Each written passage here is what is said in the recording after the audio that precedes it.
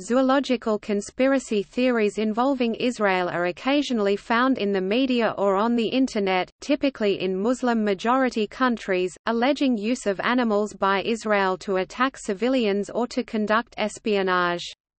These conspiracies are often reported as evidence of a Zionist or Israeli plot. Examples include the December 2010 shark attacks in Egypt, Hezbollah claims of capturing Israeli spying eagles, and the 2011 capture in Saudi Arabia of a griffon vulture carrying an Israeli-labeled satellite tracking device.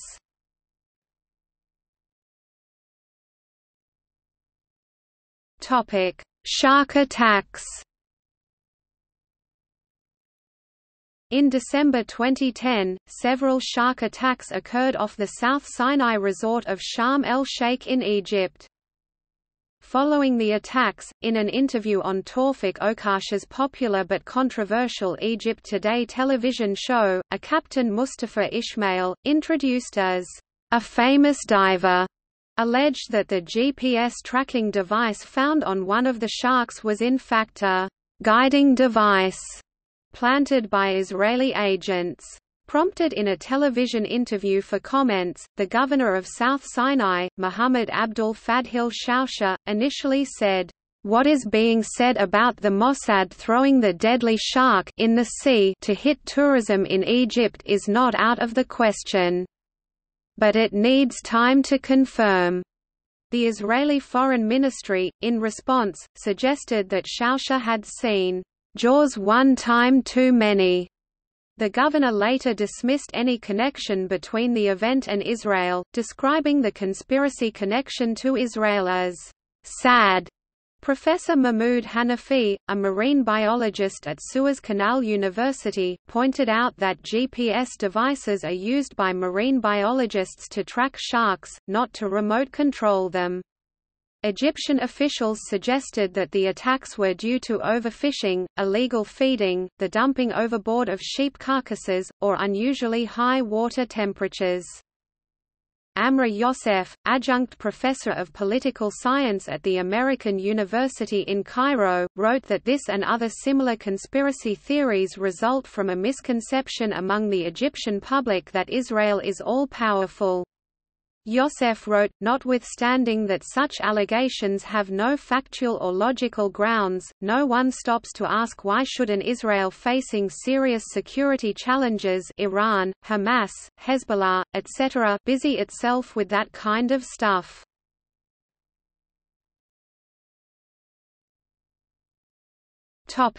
Birds carrying Israeli tracking devices and tags Birds as well as other animals are often tagged with GPS tracking devices or identification bands to record their movements for animal migration tracking and similar reasons. The high-resolution tracks available from a GPS-enabled system can potentially allow for tighter control of animal-borne communicable diseases such as the H5N1 strain of avian influenza, according to Ohad Hatzofe, an avian ecologist for the Israel's Nature and Parks Authority. The idea that tagged birds are used for spying is absurd. Birds and other wildlife belongs to all of us and we have to cooperate. He stated, "...ignorance causes these stupid beliefs that they are used for spying."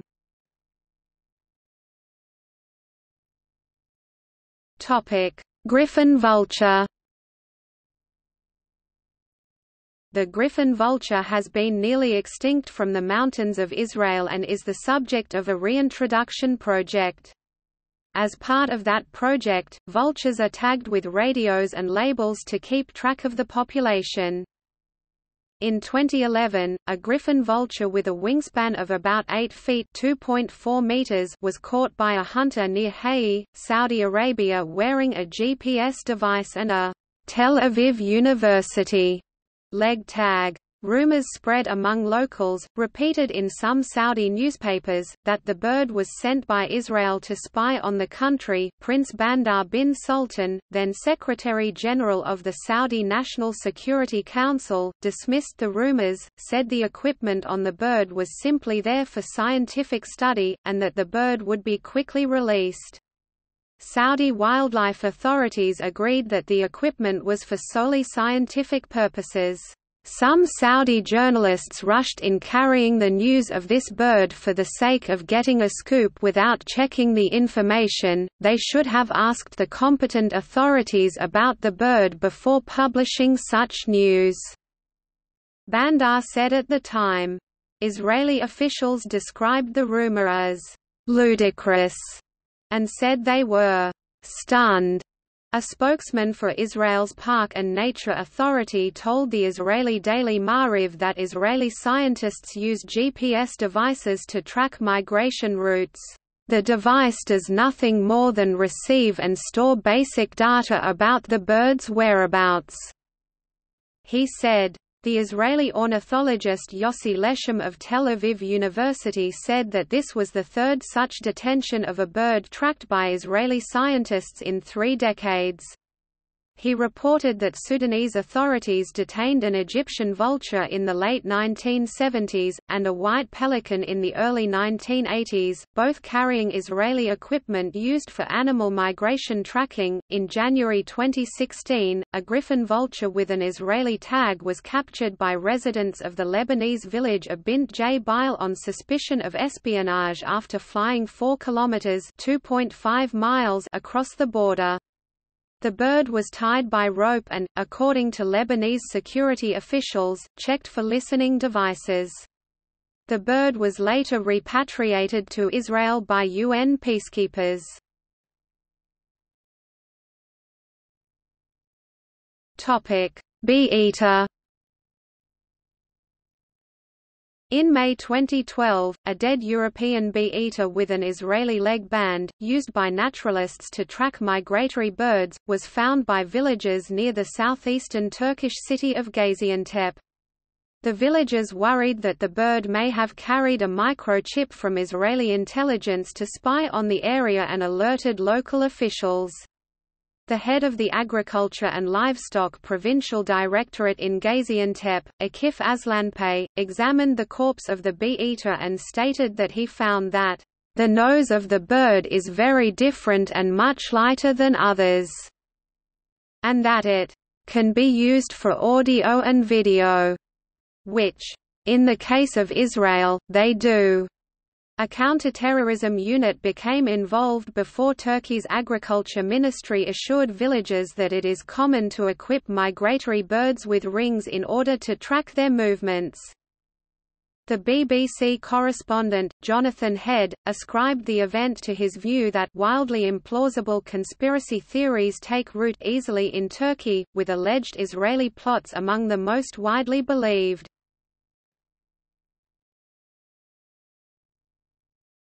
Topic: Vulture. In December 2012, a Sudanese newspaper reported that the Sudan government had captured a vulture in the town of Kerenek, which they said was an Israeli spy bird and was tagged in Hebrew and equipped with electronic devices. Iran's press TV later claimed the bird was an eagle, equipped with Mossad's tracking and other surveillance devices. Ohad Hatzofe, the avian ecologist, told Israeli news site Ynet, "...this is a young vulture that was tagged, along with 100 others, in October.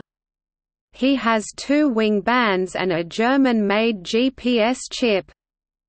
Hatzofe denied that the device had any photographic capabilities. In an interview with CNN, he stated that I'm not an intelligence expert, but what would be learned from putting a camera onto a vulture?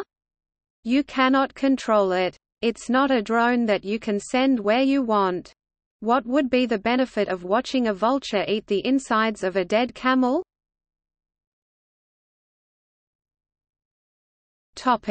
Kestrel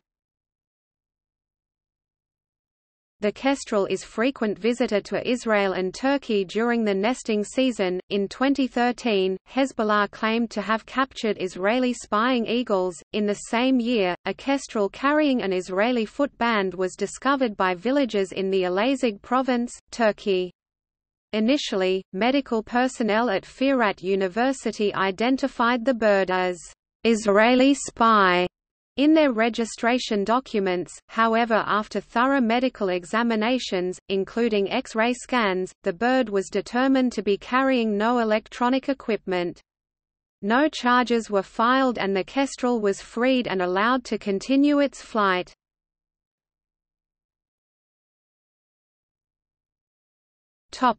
Bonelli's eagle In 2011, Hezbollah claimed that an Israeli spying eagle had been captured in Lebanon. They claimed that the eagle was one of many birds sent by Israel to spy and gather information via GPS transmitters across the Middle East. Tel Aviv University responded, T his morning, the media reported on an Israeli spy that was caught by Hezbollah. The spy is a predatory fowl that was part of a research project conducted by Tel Aviv University on raptors. The eagle that had been shot down and delivered to Hezbollah was a young and endangered Bonelli's eagle. Israeli ornithologist Yossi Leshem said he was tracking the bird for research and was incredibly frustrated it was killed. Unfortunately, this bird made the stupid mistake of moving to Lebanon. It's not enough that they kill people, now they are killing birds too.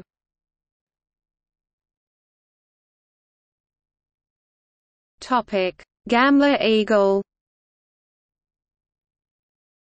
a rare tagged eagle from the Golan Heights Gamla Nature Reserve that was captured by Syrian opposition forces and first suspected of carrying electronic espionage devices was then returned to Israel on September 5, 2017 as a gesture in recognition of the medical treatment Israel has provided to Syrians during the Syrian civil war.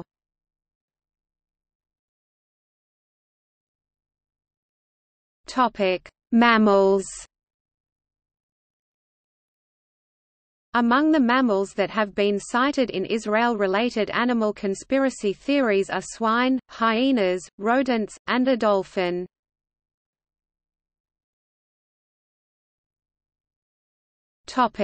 Boars and pigs On several occasions, Palestinian Authority President Mahmoud Abbas accused Israel of releasing wild boars to destroy agricultural fields in the West Bank in order to cause damage to produce and intimidate Palestinian farmers. Every night, they release wild pigs against us. Abbas was quoted as saying in one speech.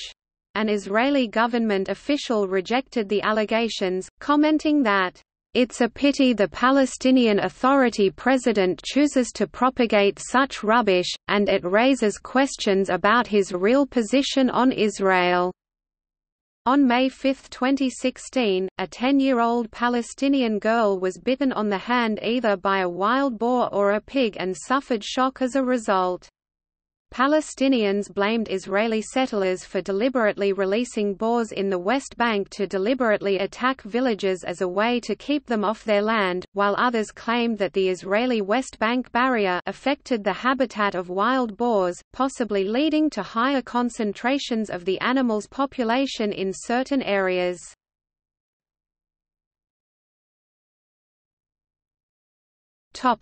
Hyenas In January 2016, Palestinians accused Israeli settlers of releasing wild hyenas in Jenin. The animals were killed by locals. In 2014, IDF soldiers found an abused hyena in Hebron and sent it to receive treatment in Israel. Three Palestinian abusers, from the village of Beit Umar, were prosecuted.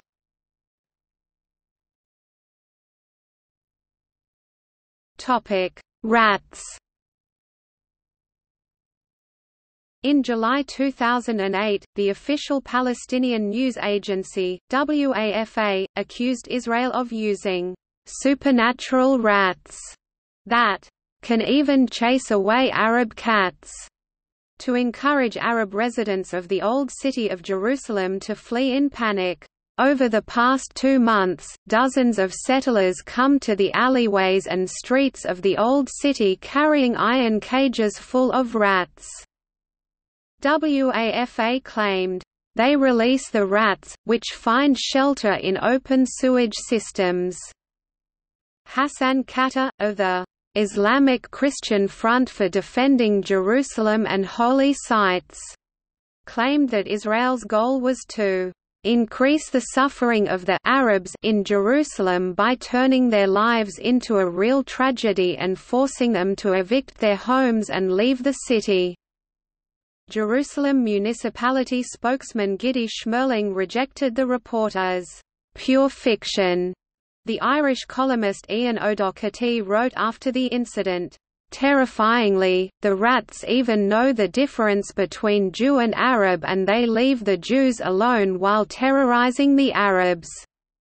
Further proof, as if any were needed, that these Jews are just too sneaky for their own good. That, or the fact that Palestinian newspapers are perhaps a little biased in their coverage. Allegations involving rats returned to the news on March 13, 2018, when Jordanian TV host Dr. Bakr al-Abadi told his viewers on Jordanian Prime TV, the Zionist entity gathered all the rats carrying the bubonic plague in Norway, and released them in all the Egyptian provinces near the Sinai. According to several Egyptian sources, this operation took place in 1967, and these rats still exist in very large numbers. These rats breed very quickly and cause significant harm to crops. They devour these crops very quickly, and destroy grain silos. Even children are not safe from them. These rats often bite children's limbs. According to these sources, the Zionist entity, since the beginning of the normalization of its ties with Cairo, managed to smuggle chemical fertilizers and rotten seeds into Egypt, leading to the destruction of vast areas of soil and crops in Egypt. This is a well-planned strategic operation, with both short-term and long-term implications, but the clear goal is to annihilate the Arab world.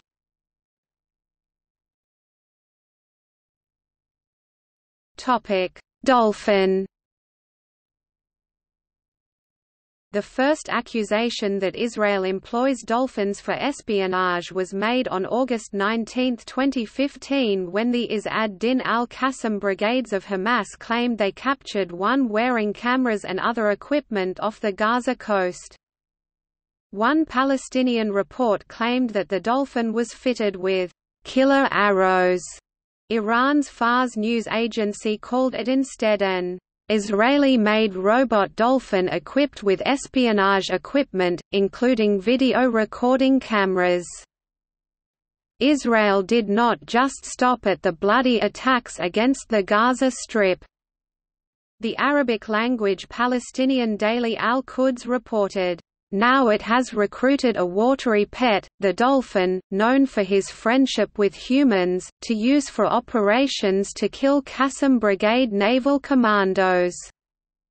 The Israel Defense Forces did not respond to the accusation, but Foreign Policy magazine noted that while dolphins have been used by various militaries, including by both the United States and Russia, this report likely falls into what is a surprisingly fertile genre of conspiracy theories, the notion that Israeli intelligence routinely uses all manner of birds and other animals as tools of espionage.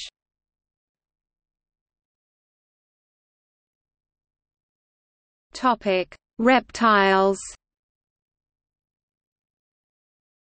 In February 2018, Hassan Firuzabadi, a military advisor to Iranian Supreme Leader Ali Khamenei, accused Western countries, including Israel, of spying on Iranian nuclear sites using lizards and chameleons, which according to him attract atomic waves we found out that their skin attracts atomic waves and that they were nuclear spies who wanted to find out where inside the Islamic Republic of Iran we have uranium mines and where we are engaged in atomic activities. He said,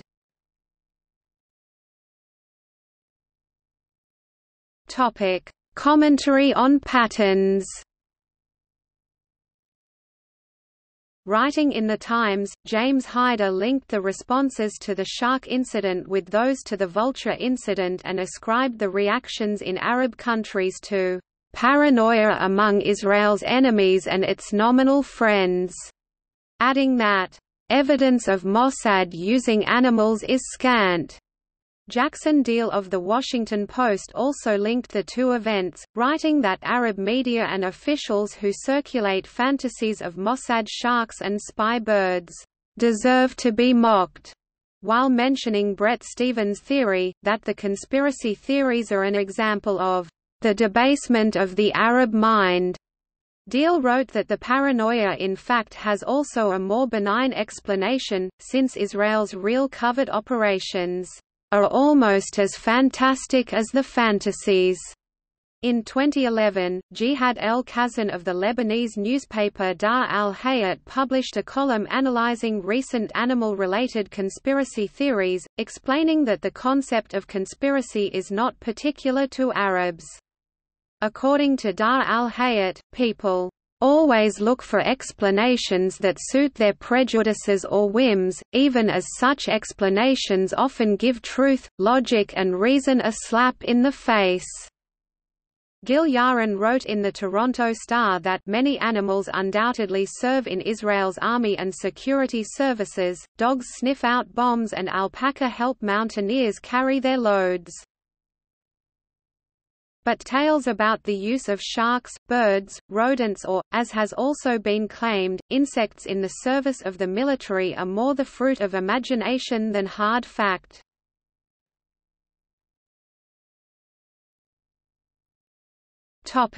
See also